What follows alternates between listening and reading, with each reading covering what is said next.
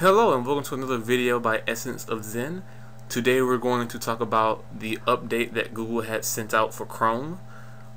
Now if you notice, the new interface for Chrome is what they call, well, it's the new tab page is now different.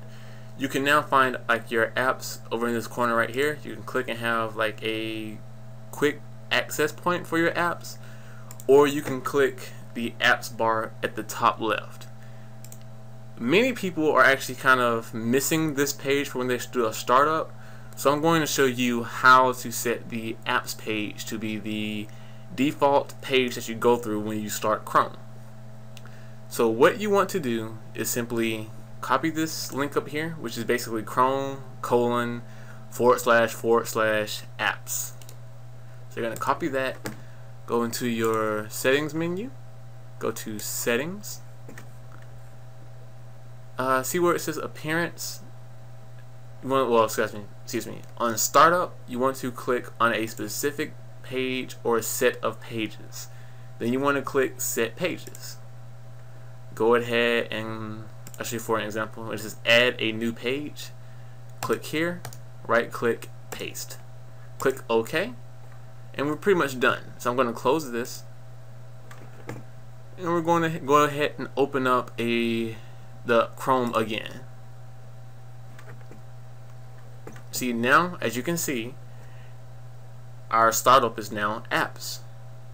Now if you want the home page to be set to the same app page, then you kind of go through the same process of going to settings. Make sure that you're at the settings area. Go to appearance, show a home button must be clicked. Then you want to have this be set to Chrome apps. And you're done. So I'm going to go ahead and set things back to my personal likings. I'm actually a fan of the new the new new tab page. So I'm going to set everything back to a default. And that'll actually do it for me. Thank you for watching this Essence of Zen video. If you have any questions, please let us know in the comments below. We're also working on a new web page. We will be launching a new website towards the end of this year or early next year.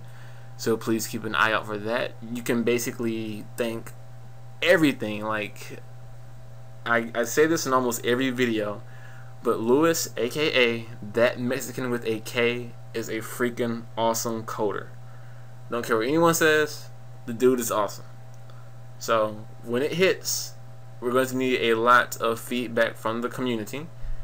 So until next time, you guys take care.